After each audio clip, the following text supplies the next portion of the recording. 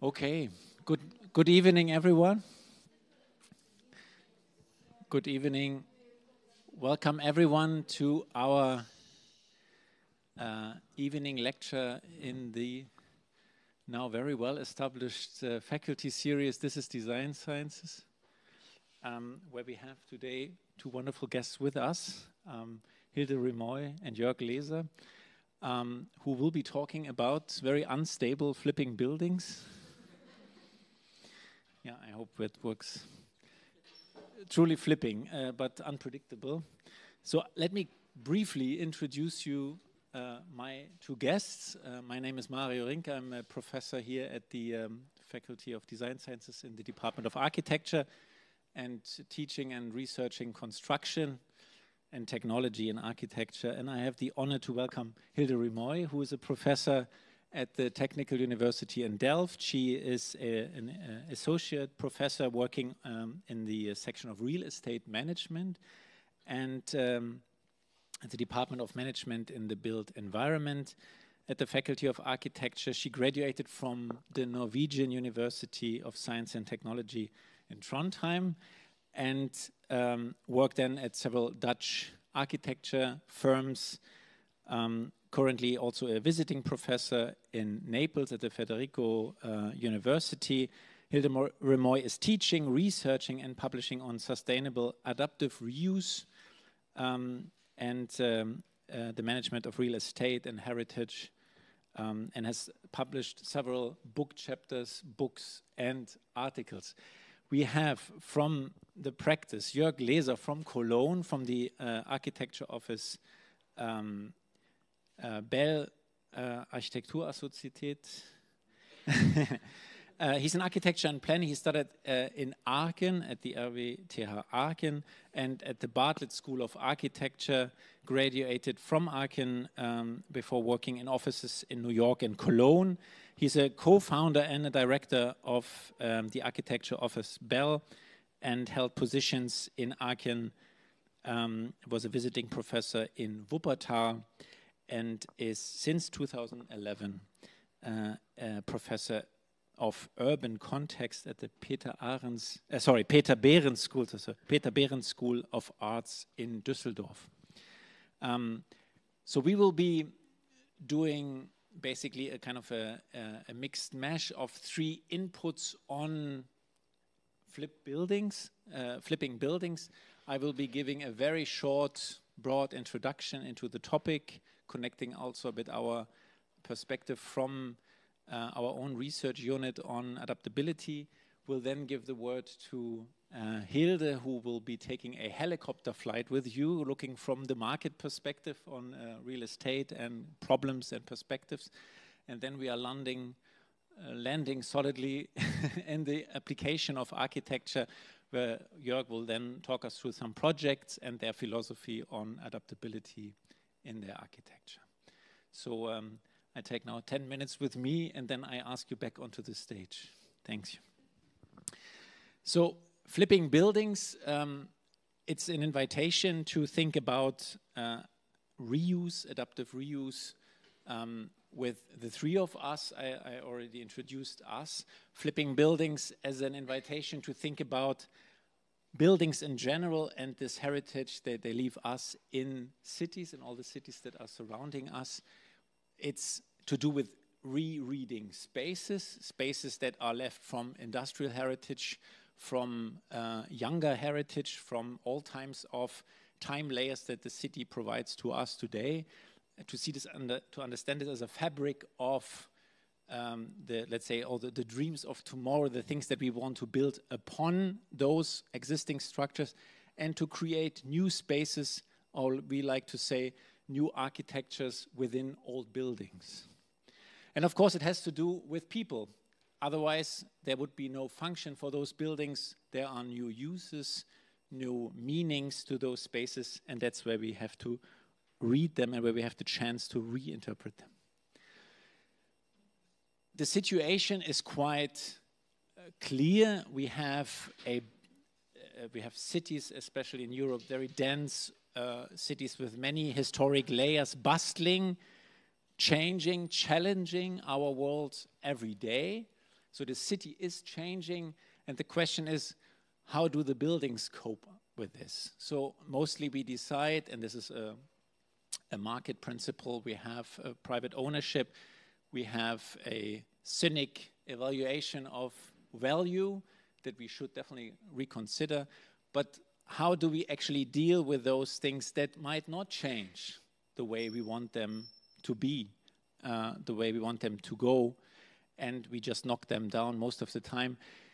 The construction industry produces 35% of the waste worldwide. So that's a, a, a kind of smashing st statistics. 50% of uses 50% of our all our resources, extracted materials, and causes 39% of the CO2 emissions. So this kind of consumption and waste culture, as we see this here um, joyfully demonstrated in this video, is a problem.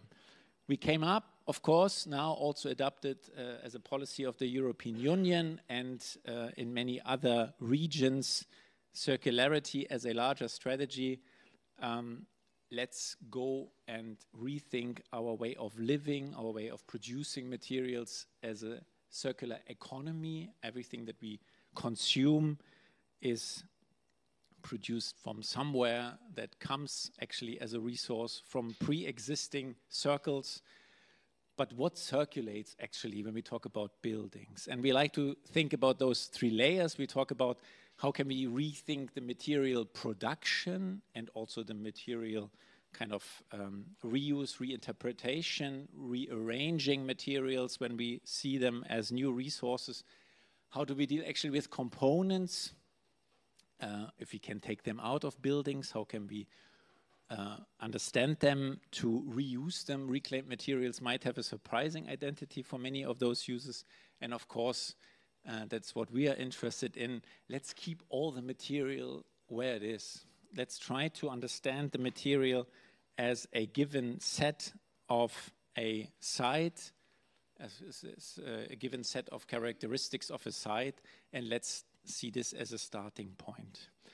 The idea of adaptability, of adaptive reuse, comes actually from um, a reinterpretation of the very city fabric, all those beautiful and sometimes also not so beautiful existing buildings, uh, reinventing a new uh, reinventing a use or reinterpreting a building for a, uh, uh, a new given use or maybe the same use but upgrading a building.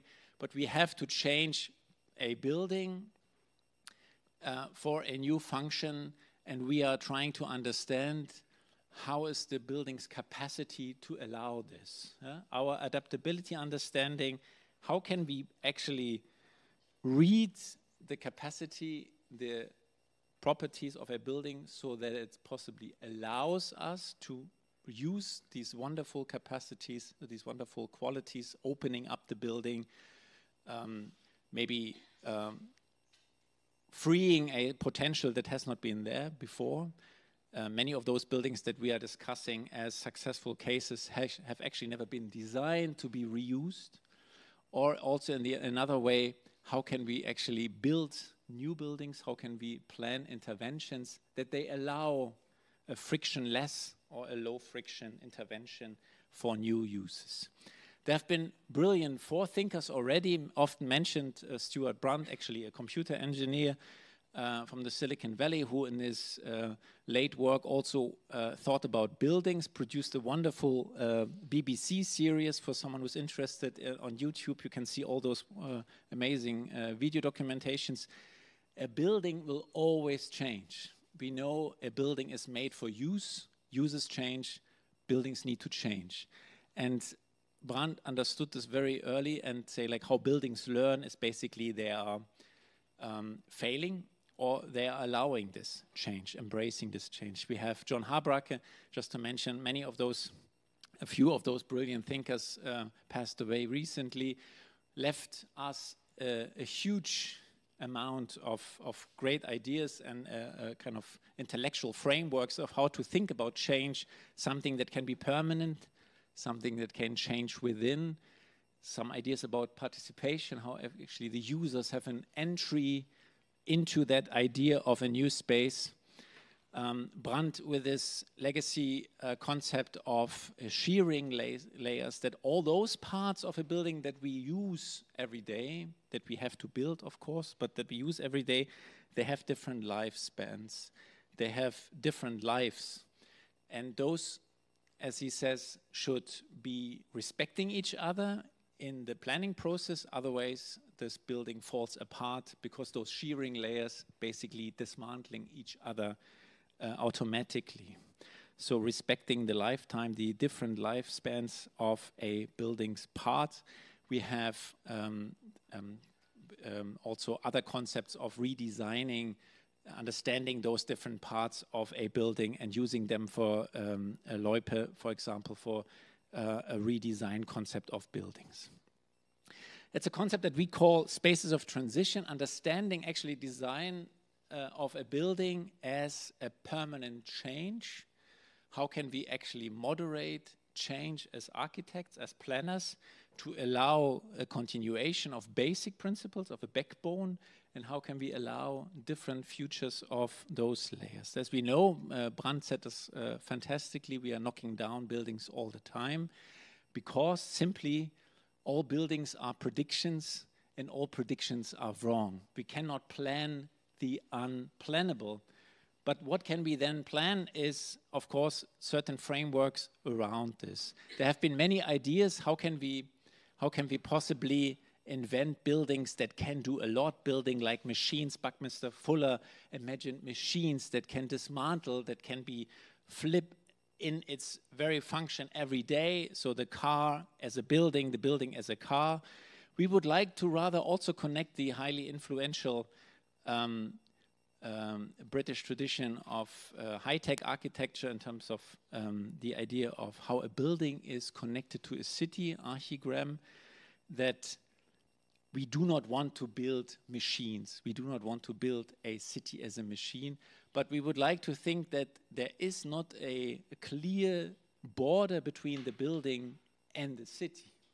The building grows and is part of its environment, as the environment can only exist because there are these constituents, the building. So there is a growing process back and forth between the building and its environment. And those uh, principles that we try to establish here is porosity and permanences from the very idea um, Richard Sennett uh, describes very nicely the uh, plan in Rome um, where we have all those public spaces which are highlighted in white here, and all those spaces which are private are basically hashed and, and are dark here, non-accessible. Others are porous and accessible. We have public places and we have public buildings. They are kind of uh, weaving into each other. But the understanding of a space, a building, in a public space, in a public realm of a city, is determined by public spaces, accessible spaces, and not so accessible spaces that is making the porosity of a built environment. And if we project this into a building, then we can see, of course, our city fabric creates permeability, the way we are transcending through our urban spaces that is allowing us access or not, movement, we can actually also transcend through a building. This is what we can create with a porosity taken from Sennett's idea of the city, the building as a porous city where we can transcend easily or not so easily in very different ways through our time, through the building. Or we can also understand the elements that we create in the building, the walls, the ceilings, as permeable or possibly permeable elements that we can open up and make also permeable as we go. We try to study many of those um, cases from conversions to understand what can we learn from them? What can we learn from existing buildings, from conversions, in the way they're allowing a better dealing with friction that every building has how can we design buildings, intervene in buildings to actually create less friction for, for future use? And that's, a, I believe, a very powerful concept.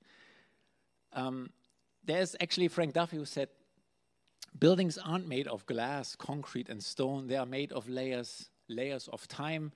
When we think and take back this concept of Brand and say like our buildings are made of those layers. So there are things are wearing off much easily. We're changing floor plans every 20 years or so, the technology within the building, the facade every 40 years or so. The site, he says, is forever. And when the structure is the backbone of a building and can stay there for 100, 200, often it's pro projected as 200 years, why can we not start here and imagine the structure as part of the site? This, the structure as the very energy intensive part of a construction site that is the given site as a space to be appropriated.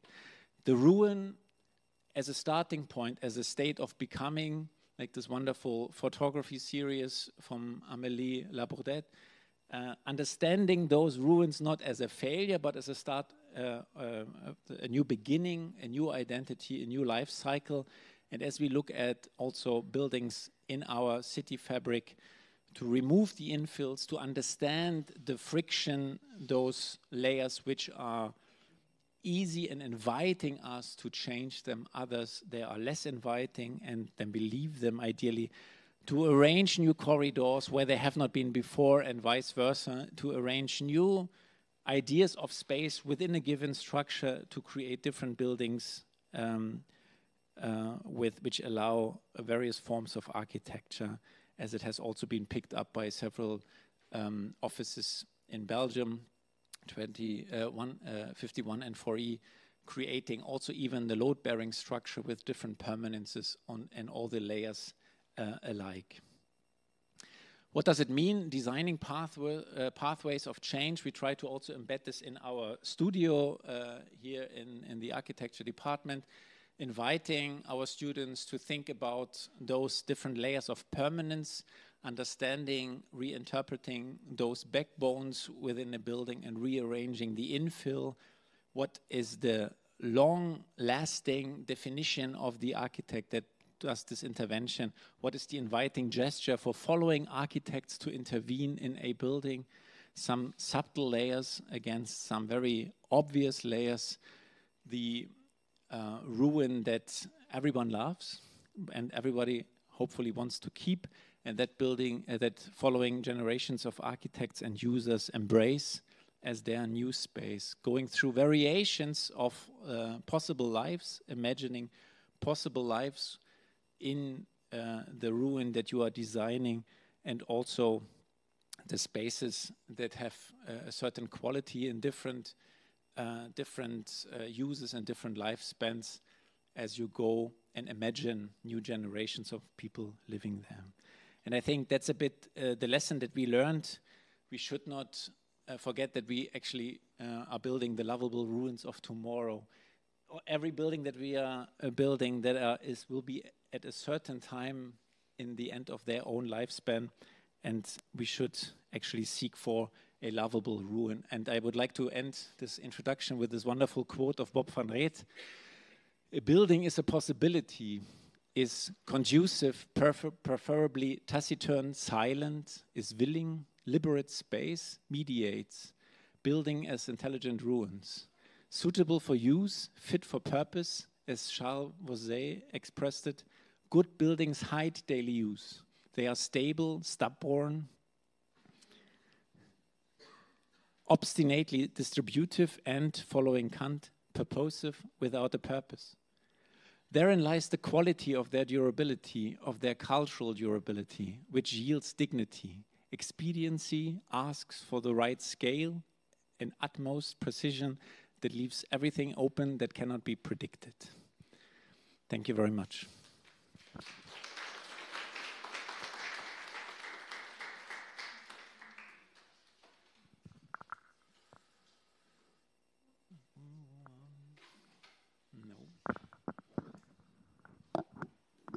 Then I will ask Hilde Remøy to come and take over.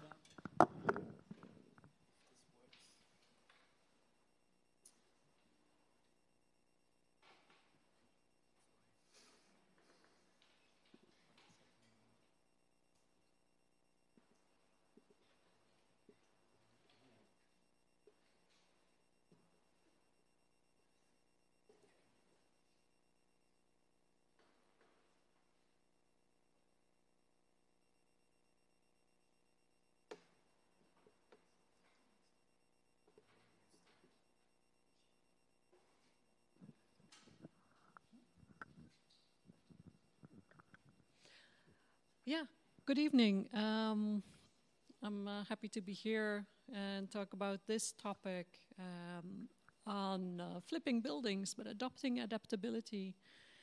And the subtitle here, Reality Frameworks uh, for Adaptive Reuse, um, is actually something that comes from uh, when I was graduating as, a, as an architect and worked for a couple of years as an architect as well. Uh, and I found we were constantly searching for these reality frameworks, how to make designs possible uh, that we were making. I'm going to try this. Yeah, that works.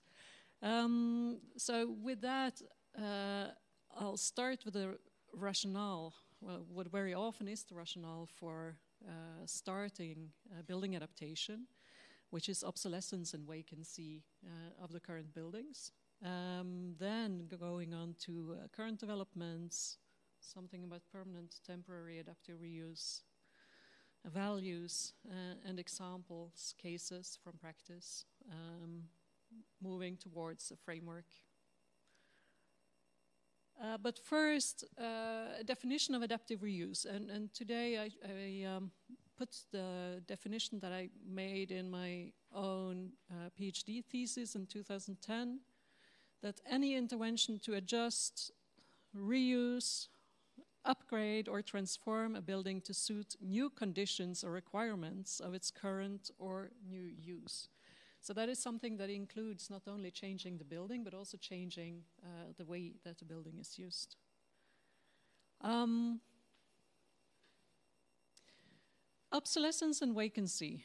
Uh, when looking at this topic, um, and if you look around you in the city, you will see uh, vacancy, obsolescence uh, coming up everywhere. So it's offices, it's retail, uh, cultural heritage buildings, uh, a lot of different types uh, of buildings. I will focus on offices for this part because that's also where I did a big part of my research uh, on offices in the Netherlands. Uh, and these are some of the uh, pictures that we became very familiar with throughout the last uh, two decades, vacant offices. And uh, what's the reason for, for all these vacant offices, you could ask? Well, um, if we look at the market, uh, you have this continuous drive for new buildings. So even the drive for sustainability which gives us this kind of appetite for having buildings that say, I'm green, I'm sustainable, uh, and having this type of uh, uh, developments. But there is also um, technological change. So you know this picture probably, and the quote, uh, what used to fit in an office now fits in your pocket. Uh, which says that we just need much less space than we used to need uh, to do the same things. And next to that, well, maybe partly technological, but partly also uh, changes in culture. Um, this is how uh, people used to work in offices maybe in the 50s and 60s. It's So long rows of people, um, someone controlling them, but this is more like what work looks like now. So uh, we tend to call it new ways of working, but it's been called like that for the last 20 years as well. And it keeps changing, it keeps evolving. Um, but it's about efficient space use. We need less square meters. Um, people work at flex desks, hot desks, working from home, uh, needing higher quality workspaces, and so on. And with that, uh, we create this surplus of offices. Um, and what we looked at as well is then, if we, if we have this surplus of offices, can we then say something about which offices will become vacant? Uh, what are the offices that typically are left behind? Um, so defining characteristics of those to try to understand uh, try to understand the typology of, of these buildings is something uh, that I have been working on. So we look at, on the one hand, deteriorating locations and buildings, uh, but on the other hand, also uh, what I just mentioned about uh, changing needs, changing uh, preferences of the users. And then, if you know that, and you know what the dynamics of building stock is, um, then it helps you to understand what's uh, what's happening. Because if we look at the, the typical uh, building stock, I think I know the most about the Netherlands, but uh, also in Europe, uh, the same things are happening. Uh, and 1% uh, of the building stock is added each year. So that's a, a very small portion of new build that is added to the existing building stock. And at the same time, we know that the current building stock that we have is big enough. So if we look at it just quantitatively, we have enough square meters uh, for the next 80 years. Um, so that means that we um, will have to start thinking about this building stock and how to deal with it. And then what is uh, the current stock? Um, highlighted the uh, points that are actually about buildings. So there is, of course, a lot of infrastructure, roads, uh, and so on. But if we look at residential uh, building stock, it's about, in the, the Netherlands, it says NL here, uh, we have about 7 million units of housing. And we have something about 1.5 million of non-residential units. This one, Mario already showed more or less.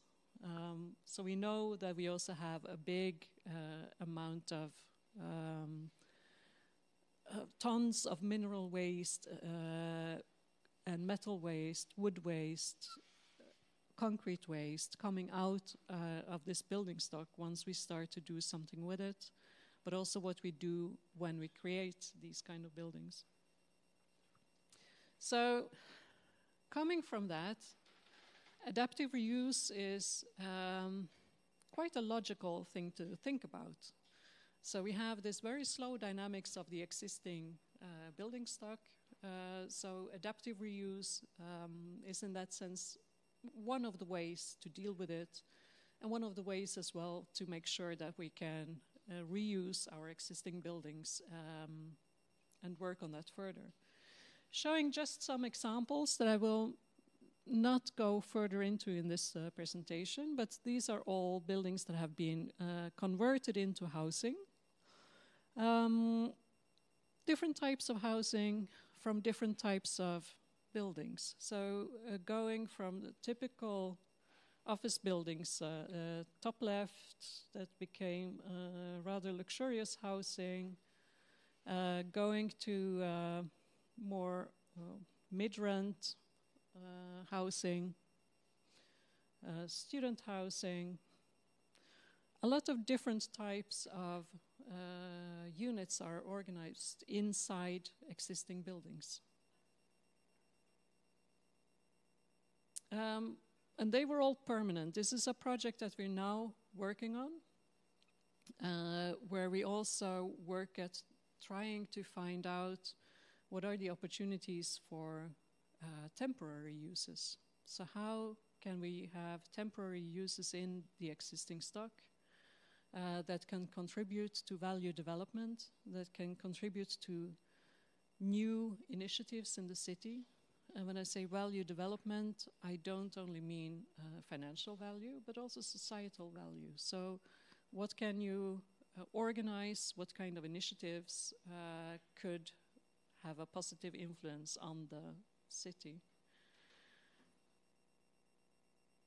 And it's something we just started actually, so we don't know how this will go. Um, but we're doing some case studies in uh, Rotterdam, Vlaardingen, uh, and also one in uh, Belgium, Brussels. Um, it's called Communa, this initiative.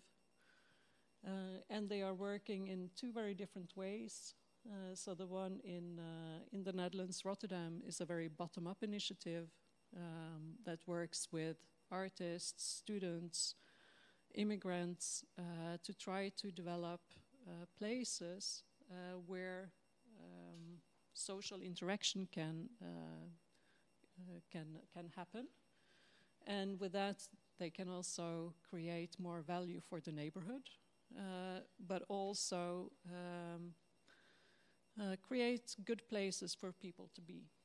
And Communa in uh, Brussels is a bit more top down. So they got an assignment to do something with vacant buildings and also to create uh, this social interaction between different uh, groups. But both of them are quite interesting, and we will do a more longitudinal study also on how uh, they create social value and how they create value in the uh, built environment. Um, what we learn from uh, doing case studies, both on the uh, what we think of as permanent and what we think of as temporary reuses, um, are these opportunities and success factors. So, what did we find in the case studies that we did uh, that made them seen as successful for uh, the owners, for the users. Um, and you see very often it's about things like increasing vibrancy, adding social values, um, financial value also, not only to the owner but also to the neighborhood. Um, it's about preservation of heritage. Uh, through using them, also creating better maintenance of the buildings. Um, but it's also about short procedures. So, how to deal with municipalities, how to deal with uh, uh, laws and regulations, um, how to use this to have lower uh, development costs um, and quick response to people who need a space, people who want a space to do something with. Um, it's about temporary experiments that I was just showing possibilities to try out new concepts that also somehow creates a kind of um, uh, diversity uh, in urban uh, areas. And it's about giving the opportunity for innovative designs. Um, so not only going to the, the, the, the quick uh, solutions, but trying to find solutions for the more difficult properties as well. And extension of the useful lifespan, of course. But with all these uh, topics, working towards uh, contributing to an increased urban resilience. And I think that's something that we see in most of these uh, projects that uh, they are contributing to the development of the city in a different way uh, than when you would have the larger layouts um, on the outskirts or outside the city. Um, the process is also a very important factor in in uh, developing these uh, adaptive reuse projects. So, not only looking at what the building is, uh, but also how do you approach uh, a building to adapt. And then it's about very soft skills sometimes, like finding political support, um, involving a construction team early. So not only the architect but also uh, builders. Um, it's a, sometimes about finding innovative ways of financing um, because maybe in some of these projects banks would say, I don't believe in this. This is not feasible. Um, how are you going to uh, to add student housing temporarily in uh, in an old uh, factory? Um, and then in many cases, you will see that the financiers were maybe not banks, but maybe they were uh, smaller companies that know something about the construction industry and who were able to contribute in this way. Sometimes it's also about involving the end users early, so to have participatory solutions where end users are actually uh, co financers, cooperating, co creating. Um, it's about trusting the expertise of others as well, because that's something that you do when you start to co create. Uh, you give some of the responsibility to someone else, which can be can feel a bit threatening, maybe both to architects and to developers. Uh, and it's about keeping the ambition level. So, uh, knowing that you have an ambition, and how do you keep that one uh, while going through a process like this?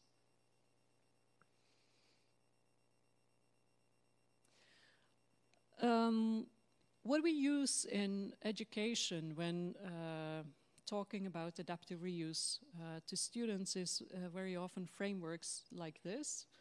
Um, it's called a higher, highest and best use approach. Uh, it was originally intended as being very financial. So the highest and best use would be something that is the uh, financially best option. Um, it has five steps starting with looking at the market demand and, and value of a property with the new function. Um, looking at legal criteria. Is this new uh, use, is it feasible? For that, you also need to look at the technical and functional criteria uh, and the financial feasibility. Before finally, let's say you might have many different uh, options, many, many different variants to choose from, and you choose the one that you call the highest and best option. Uh, but the highest and best doesn't have to be uh, the financially best solution. Very often, uh, you will also see if you start studying adaptive reuse uh, that it's the option that is financially feasible uh, but after that, it could be the option that is societally the most interesting, uh, or that is uh, the most interesting if you look at sustain sustainability or environmental aspects. Um, I brought three small cases that show uh, these three different values, as we call them. Uh, so the first one uh, is a small area development in Amsterdam called the Ceuvel. It used to be a shipyard, uh, which means pollution. So uh, the, the, the, land was polluted. It closed down in 2000, uh, and there was um, a competition, an architecture competition around 2012 and the winner of this said, We'll uh, be sustainable. We make a sustainable creative hub, circular, with uh, everything floating or everything built on piers. And building it on piers or floating was as to not touch the ground too much because that was polluted. Um, and at the same time, try to clean the soil using uh, natural interventions um, and seeing it also as a temporary use for 10 years. Um, so they're running until 2024. Um, and I should give you an update on this. I will send that to uh, Mario afterwards. Um,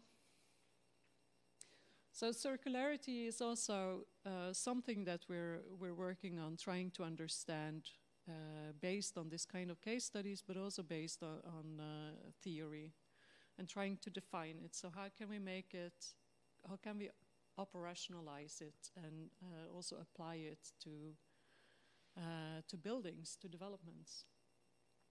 Uh, and here, with a PhD candidate, um, we looked at finding determinants uh, for circular building adaptation.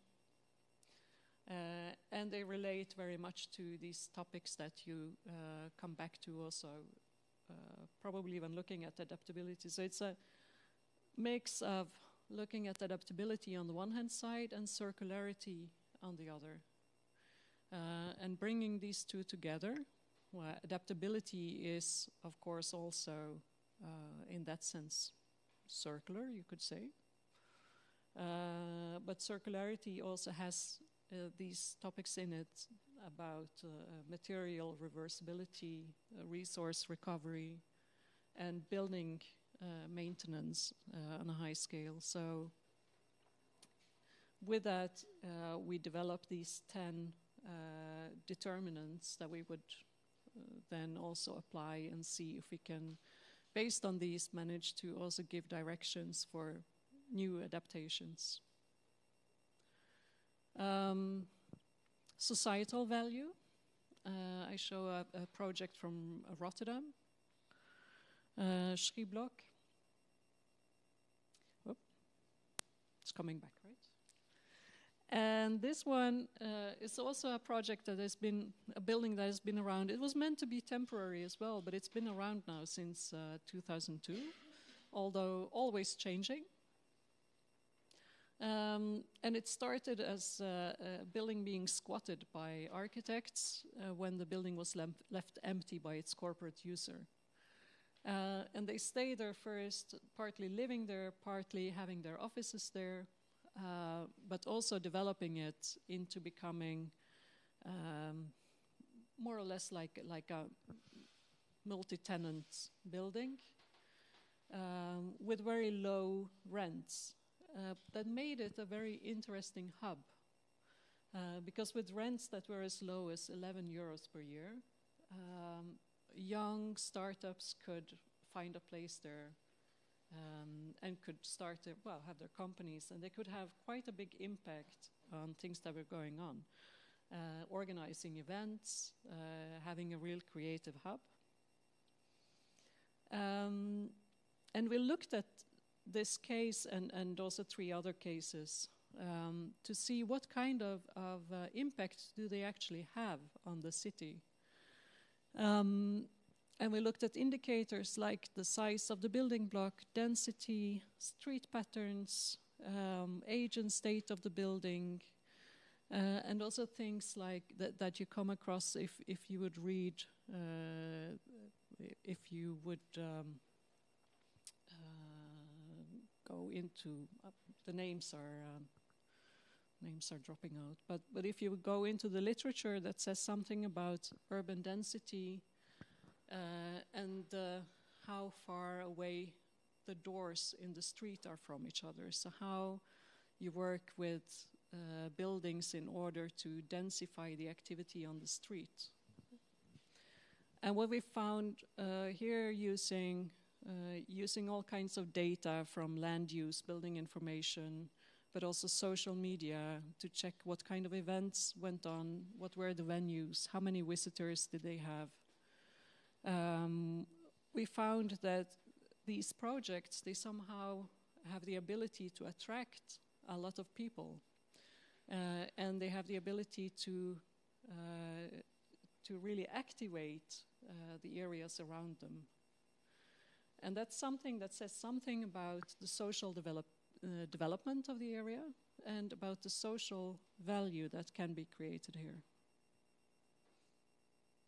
Um, going to the last case, the Hallen in Amsterdam. Well, it looked like this. And it was also um, a building that was, uh, that I look at on the historical and the economic value. Um, it's what it looks like now.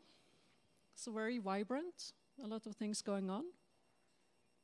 It's been uh, converted into restaurants, workplaces, a lot of different things going on.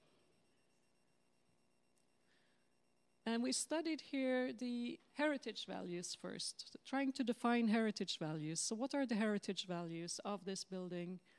Um, and what kind of values are they? Can we monetize them? Was one of the questions that we asked. Uh, and then we found out for some, you can. Uh, so we divided them into what we call uh, emotional experiment, uh, experience, historic, and architectural values and decided not to monetize these because they are a different type of values. It's the value of experiencing the building. Uh, but we also found economic value that we said could be um, defined as direct, uh, which means market value, locational value, the value of use, um, and indirect and induced values that have influence on uh, the surrounding areas. So what we tested in this project was what kind of influence does it have on the value of properties in the surroundings. Um, it was a building that was again it took a very long time uh, before the first initiative to it was until it was uh, developed uh, they had several architects several developers trying to make something from this building um, but somehow all of them failed, and the neighborhood was not very keen on having all these developments going on. But in the end, it was actually a, a neighborhood initiative uh, that won, uh, that, that made it. Uh, they hired an architect, uh, and they had this development going. So you could also say part of a success of a, such a project might be actually the local initiative, uh, and that they were very um, working very much from the values of the local community uh, and how you could realize this. Although in the end it's become quite a commercial, uh, quite a commercial new function. Um, but it, the results showed uh, that actually this project uh, had a very big influence on the uh, prices of housing in the surroundings. So prices were rising with 8%. Uh, and this is including all other, so this is compared to other uh, market prices. Um, which raises a question as well, of course is that what you want? Um, everyone seemed to be happy if you say, well, the prices went up 8%, so it's a very successful project. But I think then that's where you need to start the debate uh, is this uh, what you want? Um, could you realize this in all parts of the city? Um, and what about other values? So, does this come on the cost of other values, or does it coexist? Does it also in increase the other values? I think these are some of the these are some of the things that uh, I've been working on uh, and that we are working on uh, right now uh, in this research that we're doing in Delft. Um, building what I call here a reality framework, um, and where we start very much from the building to be assessed. So we always start with the existing building. Um, first, defining its current state. So is it used? Um, is it partially vacant, underused? Maybe it's inappropriate, uh, inappropriate for its current use, meaning it might be in use, but you know uh, it will become vacant because maybe uh, it doesn't fit with current laws and regulations. Um, so you could say, I know that next time uh, they will need rent negotiations, the tenant will leave because you cannot let it out anymore. From the current state, we go to possible interventions. So, what could we actually do to this building? Could you reuse it? Could you reuse components and materials? Um, could you uh, uh, adapt it sustainably, maybe partially demolish, modify, adapt? Do you need to extend it maybe in order to make it useful? Um, maintain in a vacant state is also an interesting one because maybe we don't always have the solution. Uh, maybe we have, for example, beautiful churches that are not used anymore. Um, do you need to have a solution right now? Or can I somehow find a way to uh, say, I need a couple of years to decide? Uh, I need to see what's happening here. And then, of course, there is always uh, the opportunity of um, uh, putting a, what we call a SEP field around it, somebody else's problem, uh, which means selling it. That's the easy way. Um, once we decided uh, to keep it, not to sell it. We come back to the framework that I showed you first. So, uh, using this highest and best use approach, um, deciding what are the possible uh, uses of the building, what are the possible ways to interfere with the building, and then uh, uh, deciding what will be the uh, highest and best use. Um, so with that, I hope I gave you something that is uh, useful for your practice and your studies. Thank you.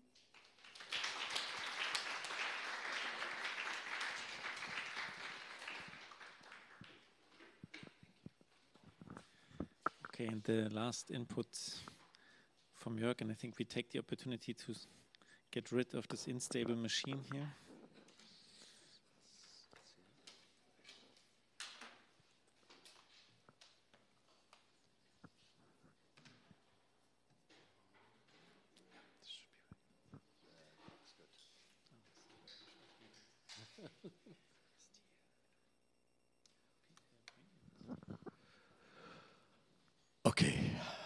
Um, I've already been interviewed, uh, introduced uh, by Mario, so um, there's nothing to explain about this slide. But um, I will have an awful lot of slides with me, but I will just stop at exactly 25 minutes and um, see how far I get. Uh, it's easily structured, my lecture. It's typologies, industrial buildings, parking garage, department store, and residential buildings. Um, so it's part of what we do at BeL. Uh, we are also involved in urbanism and, and uh, interior architecture. We are uh, an office that is still doing the full range of, of architectural projects. So um, I will start with a industrial building that we realized in Poland. Um, and to connect to uh, Hilde's uh, lecture, uh, I will start with the, the amortization period for this uh, uh, production plant. It's a German company. They went to Poland uh, to produce their goods, um, electrical engineering. And um, the break even point was 10 years. So the life expectancy of this building was supposed to be 10 years. Um, so it had to be super cheap and um, very flexible. Hmm, maybe not, because in the beginning they thought they, they would just, uh, you know, uh, produce there for 10 years. Um, but we convinced them that um, if this building, first of all, uh, has a sustainable construction technique, it's built out of wood mostly, some of the columns are in steel. Um, but if it's adaptable, they might get some extra value out of it, even though they were not expecting it. For them, it was just uh, the surface of their production plant. So we designed a building that is uh, non-figurative, non-picturesque, non-rhetoric, non-narrative, non-referential, an absolute um, uh, circle and um, of course, there are references in architectural history of projects that we really deeply admire. And uh, this is by Archizoom, the No Stop City project. And it deals with an artificially conditioned uh, uh, interior, endless, infinite, uh, flex utmost, flexible to the utmost. And um, for us, this was, let's say, uh, our, our fascination of what could be the ultimate neutral space. So these are the diagrams of the company, how they produce their goods.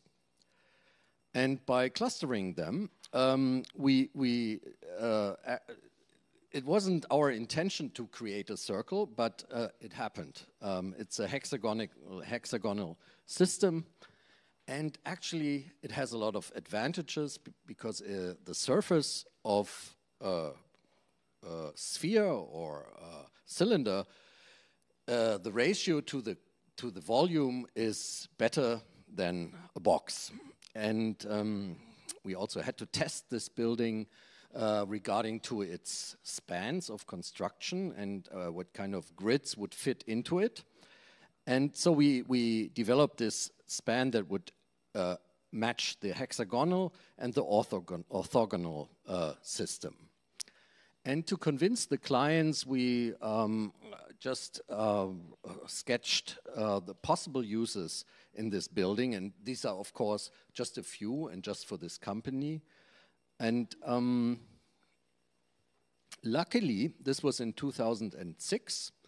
Uh, today is 2023. They're still using the building, probably much longer than they intended to use it. Um, and um, this, this space has like the same conditions everywhere. It has skylights and a, a super elegant, I hope you find it elegant, uh, the uh, super thin uh, structural grid system uh, made out of wood.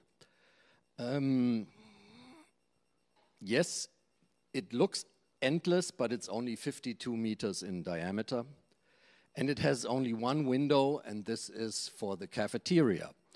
Um, so when once you're in the cafeteria, you look out of this window and you actually look out of the industrial area. There's this little uh, landscape window where we focused the window on so you get the illusion you're in the middle of the woods.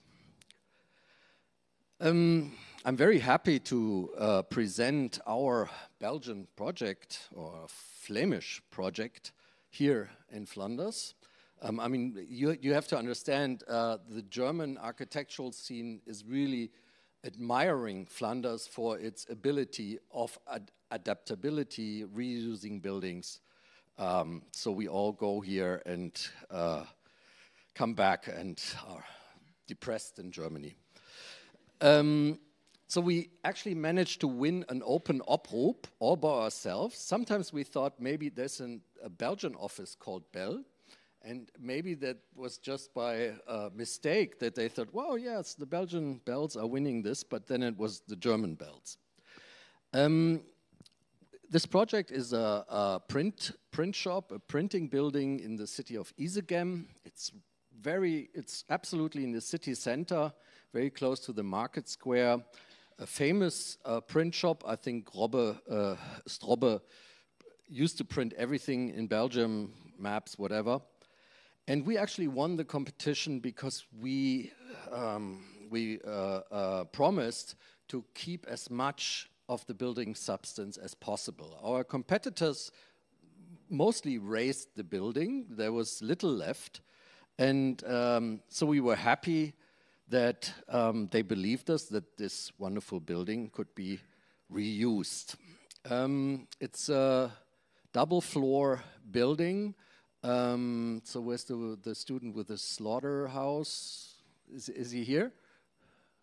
No. Um, yes, it has some problems because it's dark in the middle. Um, so we needed to um, add a few uh, skylights. And the function of the building was super complex. Uh, um, the, the city archive, uh, a school of theater, music, uh, and arts, um, uh, the city library. Um, and the interesting thing is the more complex it is, the better it is. You can just, you know, start um, once you you you proclaim that you can keep the building. You just use all the functions. Sort of, it's it's just a furnishing plan basically that we developed. So we built those furnishings in uh, as a model, and try to stuff as much into that building as possible. Um, it actually only needed a, a very small extension on, uh, on the roof. Um, you, you see that on the top. We just added a little uh, studio up there. And uh, I don't have enough time to go through that super complex uh, um, program. But I will uh, show you. So this is the ground floor. You see blue is the archive. And um, the purple is uh, the library. And the yellow, I'm just uh, giving you a short uh, description of what the yellow is. It was a grand, grand staircase, um, a new entrance, basically.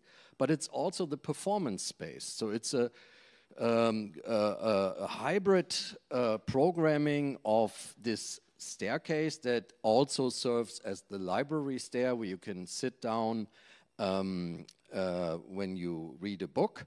And it actually, it's, it's funny because it, it makes it necessary that we have two entrances. One is the one without performances, and the other, then you have a blinking light, and it says above the other, above the main entrance, on air.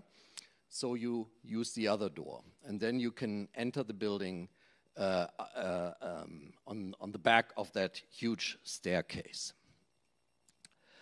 Um, it's a bit of a sad story because uh, the beginning of the year, uh, the city of Izegem got funding from the state of Flanders to, um, if they build a sustainable building, uh, they get 10 million euro, uh, but they have to demolish the existing building. So we, we couldn't believe it and we protested against it and we said, I mean, this is the, the, the biggest bullshit we ever heard. Um, but it was true. So we lost lost the the um, the commission. So maybe you want to rally in Izegem, telling them what adaptib adaptability adaptability means and that it's the most sustainable uh, um, um, way of uh, dealing with existing buildings. So um, yeah. Um, jump to Cologne, we won a competition, an urban design competition of um, huge factory halls. Uh, you have to understand the Cologne, when you see the map of Cologne, there's the medieval city of Cologne on the western bank of the River Rhine, and on the eastern bank, it's nothing but, but factories. Uh, nowadays, they're all defunct. The factories have moved away from the city, and this, I mean, it's uh, the, in Cologne they invented the combustion engine, you know, the the Otto Otto engine, and this is actually part of the KHD, Klöckner Humboldt Deutz company that invented the combustion engine. And just to get an idea of the scale of this hall, you can fit the Cologne Cathedral in there twice in length. Um, we won this uh, urban competition because um, uh, um, again, we, what's happening now? It's it's yeah okay. Um, we were the office that kept the most of the existing buildings. Uh, we transformed one of the large hall into an urban square, and um, it's blending. I don't know why it's doing this now. Okay, let's then I'll just let it happen. So that this is this is the interior of that hall, 150 meters long, and we uh, envisioned it as a, a, a kind of a public place uh, where uh, there's a museum adjacent to it, a school, uh, ateliers, uh, initi initiatives for migration and inclusive uh, sports and um, I've never been to Split, but maybe some of you have. Um, in the city center of Split, you will find this strange square. And um, it's an exterior. And as a matter of fact, this used to be the ceremonial hall of Diocletian. So the, the, the city center of Split used to be a building and was turned into a city. And uh, this was our idea. Um, Problem with Cologne is it's a very old city, 2,000 years old, and things are very slow. So it's six years ago, nothing has happened yet, but we are still optimistic. It's, we haven't been uh, kicked out of the commission yet, but there's still some years to go. Berlin. So I'm switching from industrial buildings to parking garages. Um, we did win this competition also. This is uh, Berlin Neukölln um, southeastern part of um, the city center, rather poor neighborhood, but very interesting, very uh, colorful, multicultural, a great place to live nowadays. And uh, but when we won the competition, there was actually an excess of space in Berlin then. Nowadays, it's completely different. This was 2014, 10 years ago. This was had no value, and um, they asked us, you know, what can you do with an empty parking lot?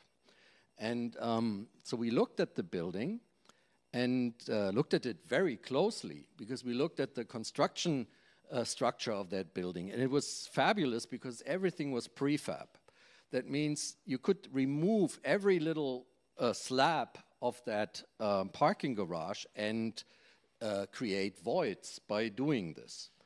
So we developed a strategy of, of uh, perforating uh, the parking garage in order to introduce housing into it. And um, we did, um, uh, let's say, respect the circulation of the cars. Um, uh, yeah, it's, it's one of the next slides. Um, so, wrong order. So, the, the, the, this is the courtyards that we introduced into that building. So, all the apartments would face uh, to their own courtyard and be uh, lit well, actually. Um, yes, that's the structure, that's the voids. And here, this is what, what I meant. Um, so you enter the, the building by walking up this ramp. We actually removed some of the floor slabs to form a loggia. At the beginning, we saw that at the Ono project, also this uh, um, uh, colonnade. Um, you follow uh, the track of the of the cars, and of course there are no cars allowed there anymore, only bikes. So this is the Colonnade Loggia, the entrance to this housing complex. Um, you have uh, three floors of housing. Um, this is how we envisioned, envisaged, envisaged the, the interior, the rue interieur, uh, or model um, our typologies of apartments. And this is an impression of what it would be like to live in one of these apartments. And what happened? Berlin got expensive, and they realized um, there's not enough density in our project. So they, uh, they started another competition. Um, and we were so much in love with our parking garage that our next competition project was really nasty. And EM2N from Switzerland won and built a beautiful project on that site. But um, so the, the, the, actually the conversion of the, of the parking garage was no longer feasible. Very recently, uh, we've been invited um, uh, in a competition for mobility hubs in Oberbillwerder in Hamburg. Oberbillwerder is uh, a, a new town, basically a new huge district of greenfield planning in uh, Hamburg, uh, won by Adept and uh, Karres and Brands. And um, these mobility hubs, uh, they asked, interestingly enough, they wanted one mechanized um, mobility hub and the other one uh, conventional. And they wanted the mechanized one to be transformable. And uh, we thought this might be a glitch in the, in the, in the brief because mechanized parking lots are not that easy to convert, uh, but we tried it anyhow. Unfortunately, didn't win. Um, so we had these uh, these revolving uh, the, the, the, the, cylinder uh, mechanized parking, and you see up there 2027, full of cars, transformation into into a studio and atelier space, still a little parking left, and then here this would then form into um, uh, um, also an artist space. Um, the axonometry of that, um, there's more to it. Like there's, of course, a lot of sharing in the ground floor. Um, it's, a, it's a wooden construction, so we gave everything, but we did not win. This is the ground floor plan before uh, transformation, and this is like when there are still cars, but um, this is already turned into uh, ateliers. Um, this is for you. Our uh, section diagram in time. So 2027 in the middle, 2050 the end. Um, the second, the conventional parking garage, um, much easier. They didn't ask to convert this, uh, but it's of course much easier to convert. Uh, same thing, 2027, 2050.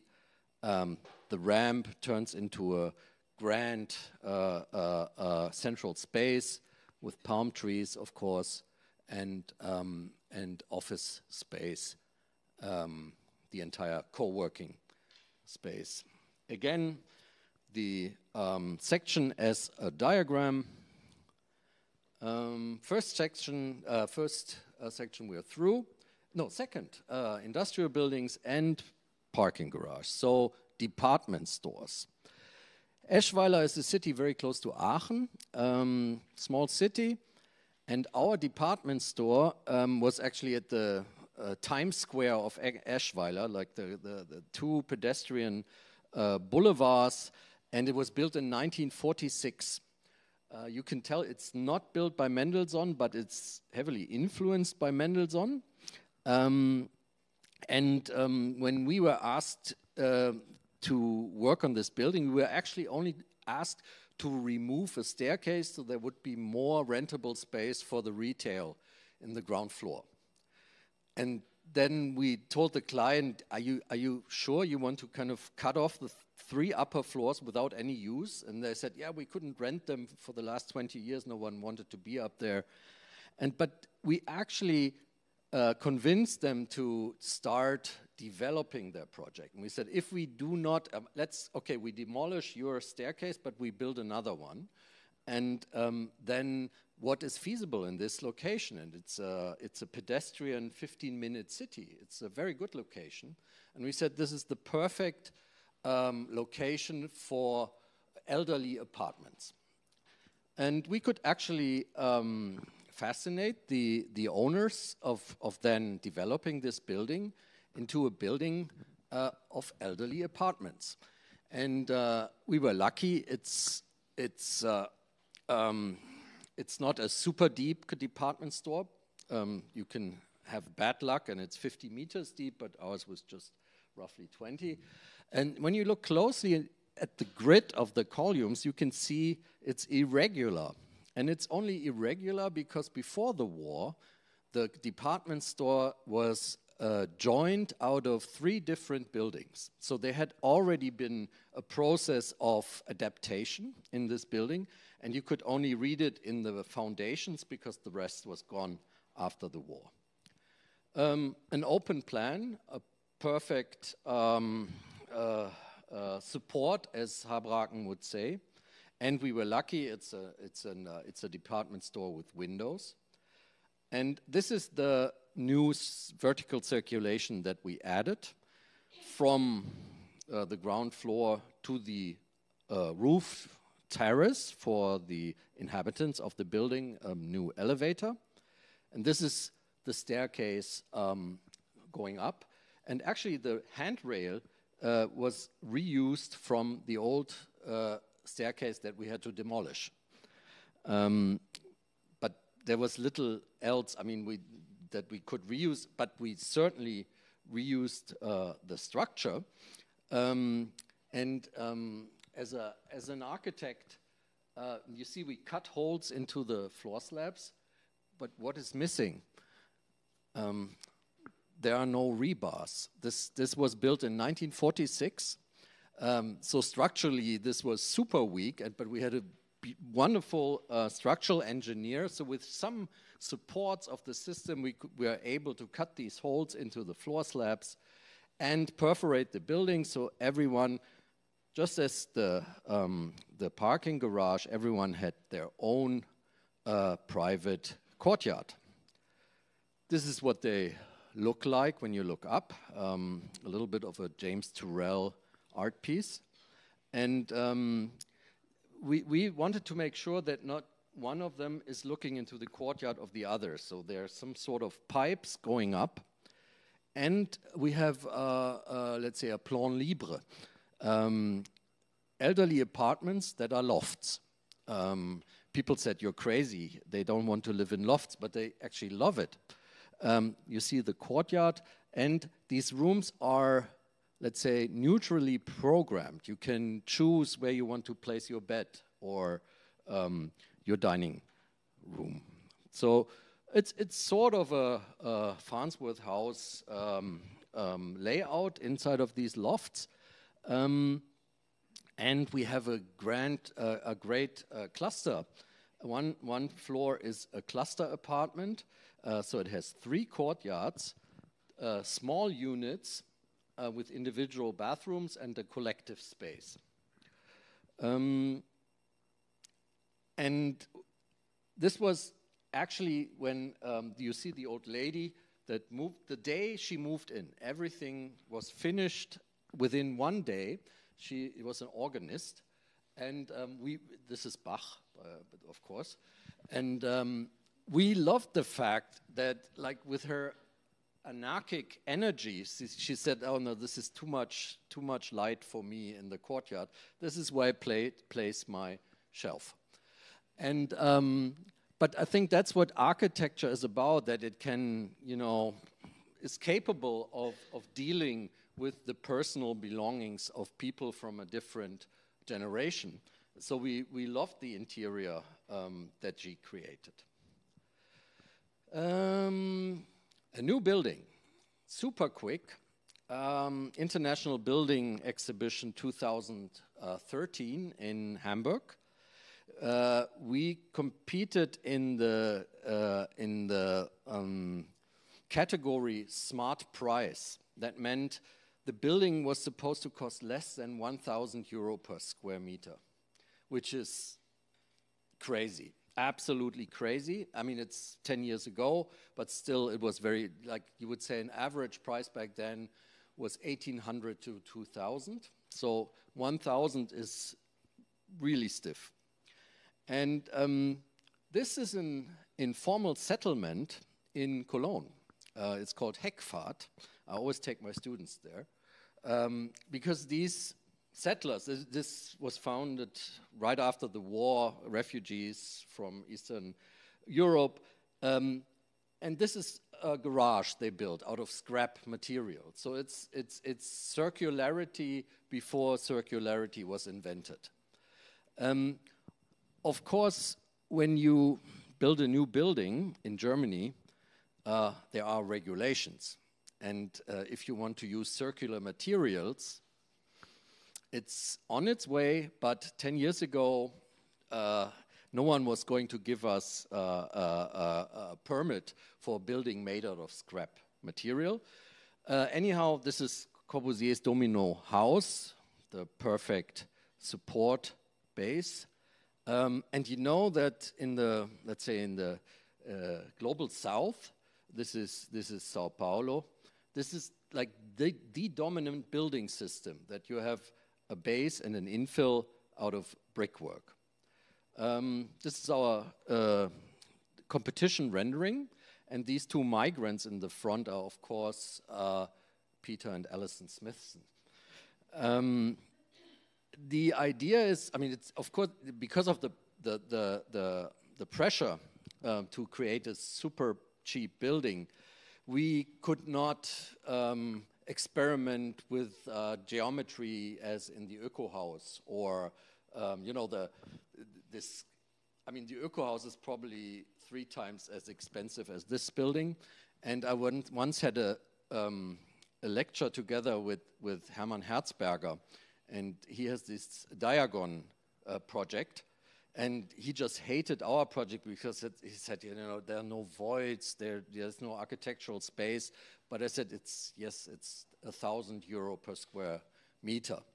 So the idea is that you insulate your own uh, your own lot on on on in this shelf, uh, so you're independent from your fellow self builders. Um, if he falls, he she falls off the ladder, um, you can still continue with your construction site. Um, structural grid, uh, according to the course for, um, for uh, um, fresh water, heating, electricity, and sewage, a super um, minimized circulation shaft, but um, we proposed uh, space system based on this is this is um, this is Schloss Benrath in Düsseldorf, um, Rococo, uh, perfect enfilade system. You know there are no corridors. One build, one room leads into the other, and this was our proposal for the settlers um, of that building that you would live corridor free and be able to interpret each room the way you would like it.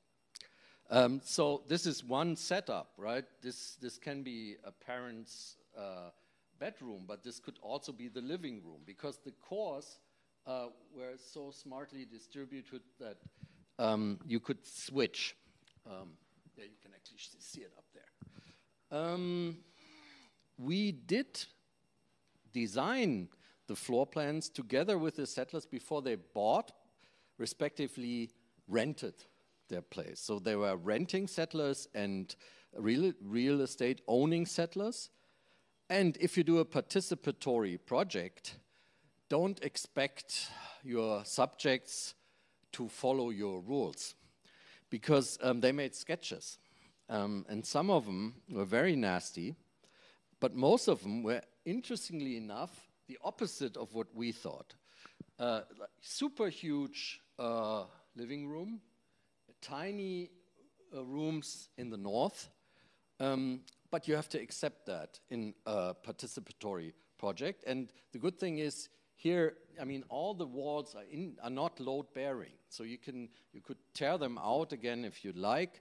Um, but um, the most beautiful moment certainly was this one. Pure art. Um, uh, and then in the winter of 2012, minus 15 degrees, Mr. Burmeister on his construction site. You saw him earlier in the consultations. And we produced a manual on how to build a house yourself. Uh, 180 pages.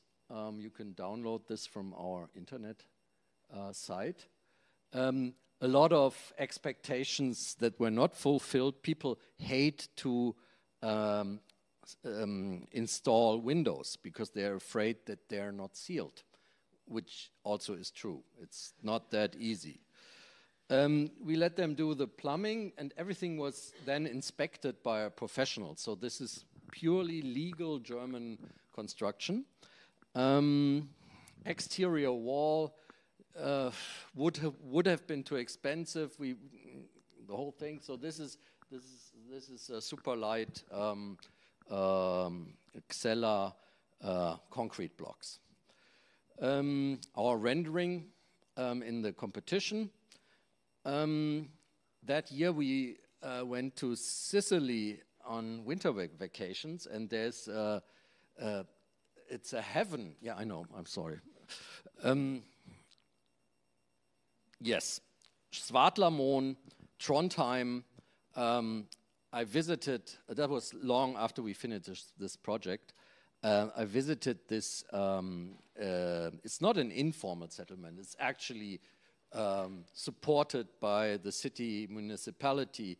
Beautiful. When you ever get to um, Trondheim, right next to the uh, um, subway, uh, uh, sub submarine shelter, you will find Svartlamoen. Um, yeah, I can fast forward. Oh, yeah, you want to see how the building looks finished. Um, last project, very close, uh, very, very short. Competition for the Hafen City in Hamburg. It's a cooperative. Um, so uh, the people especially asked for an elastic, um, adaptive uh, floor plans because they wanted to shrink and grow in their life uh, cycle, you know, form a family, have children's rooms, then reduce. And um, so we, uh, um, we developed these diagrams on how uh, the units, so you have like a core unit and you have um, flexible um, um, let's, uh, Schalträume. Ah, can't translate it. It's uh, uh, so flexible rooms that you can add or subtract from your unit. of course, this needs some sort of uh, uh, negotiation which, within the cooperative, and it creates a multitude of possibilities of how to um, divide these, uh, this floor pattern, uh, pattern uh, into small units, large units, um, shared spaces that uh, are communal spaces, and um, unfortunately, we did not win this competition. but do we have another two minutes? Yeah, this one we did win. And um, we, we are about to uh, finish the project, and it's in Bavaria. Um, it's an offspin of the uh, Munich Kooperative Großstadt uh, cooperative. Um, and it's a group of elderlies that formed a cooperative to say we, we, we, we the, our uh, detached individual houses are much too big for us. We want to move together, walking distance to the town center. And um, so it was a site uh, with a slope. And by coincidence, this slope is uh, the 6% of the barrier free ramp that you need in Germany for um, elderly housing. So we copied that slope onto the entire building, and so it's stepped according to these 6%. And the access gallery is a very social space um, because everyone, uh, it's, it's uh, south-facing uh, winter gardens facing this access gallery.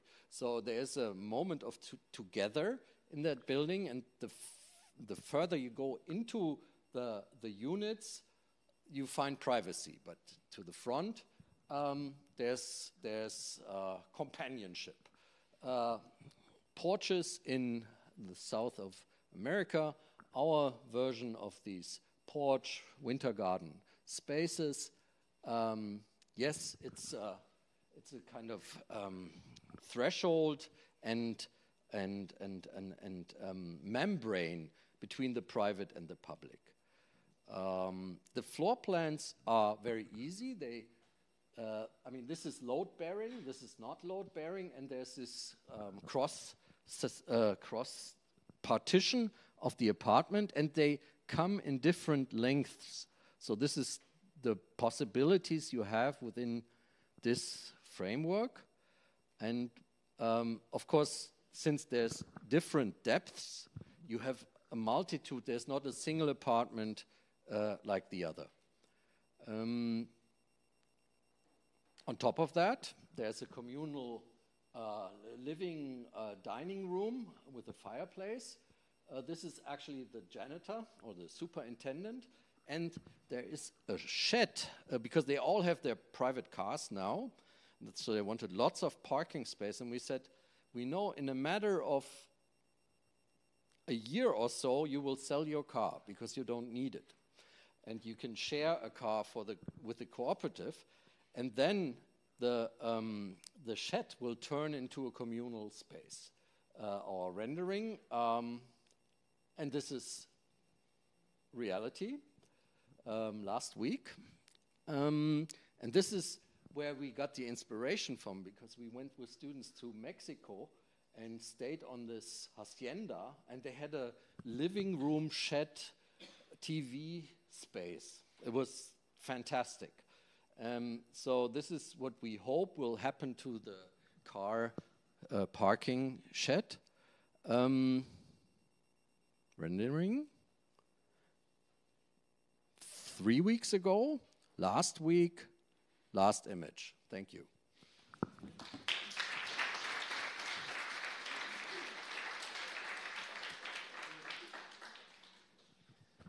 Thanks very much. So